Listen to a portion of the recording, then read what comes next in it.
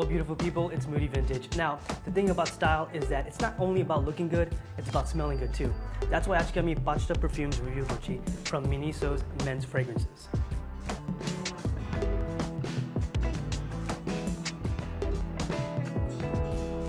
Now the first one up is Classic Energy.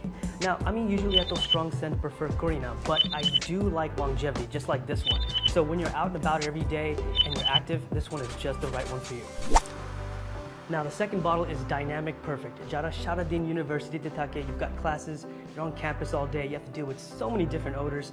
This one is ideal for you. It's strong enough to cancel out all those bad smells and small enough to keep in your pocket. Now this one is a little bit on the nose, the Urban Traveler.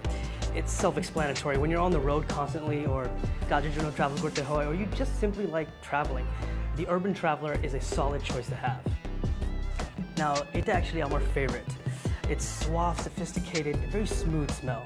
Noble Permanent is best for an evening out, very intimate setting like girlfriend shate date jawar, your wife or shate, or both. Just kidding, don't do that. And finally, we have Midnight Gentleman. Now, I know the size, the packaging, the nice leather detailing may be a little intimidating, but যখন আমরা কাউকে gift করতে চাই, it gets a bit tricky. So why not choose this as that gift? And it's not that overpowering either. It's safe for anyone to try out. Now, with that said, gentlemen, remember everyone has a different body odor. So some scents will work better for you than others. So next time you're in Miniso, make sure you try each and one of them out to find the best one for you. Well, that's all for me. But remember, love life, love Miniso.